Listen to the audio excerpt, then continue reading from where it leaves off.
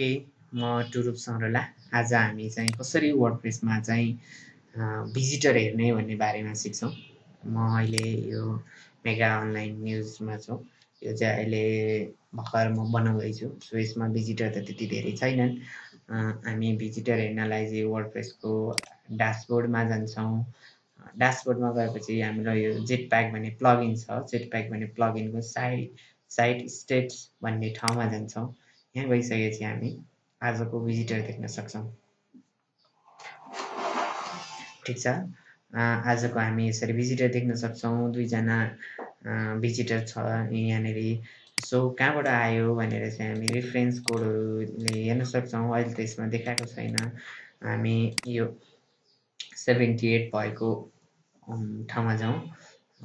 Sorry seventy six हामीहरू चाहिँ forty थ्रीजना चाहिँ फेसबुकबाट आएको रहेछन्। त्यसमध्ये उपत्यका होलीको रौनक भन्ने फोटो फोटो चाहिँ फिफ्टी सिक्सजनाले हेरेको रहेछन् होम पेज तेह्रजनाले वैदेशिक रोजगारी बाह्रजनाले। फेरि हामी होममा जानलाई यो हेरिसकेपछि होममा जानलाई यहाँनिर जान्छौँ। त्यस पछाडि सिम्पल छ हामी साइट स्टेट्समा जान्छौँ। त्यस पछाडि भिजिटरहरू यहाँबाट हेर्न सकिन्छ। कुन पोस्ट कहाँ कहाँबाट हेरेँ भनेर चाहिँ हामी आज यहाँ दुईजनाले चाहिँ जो आठजनाले चाहिँ होम पेज हेरेछन् यहाँबाट चाहिँ अरू सोर्स कहाँ कहाँ गयो भनेर पनि देख्न सकिन्छ।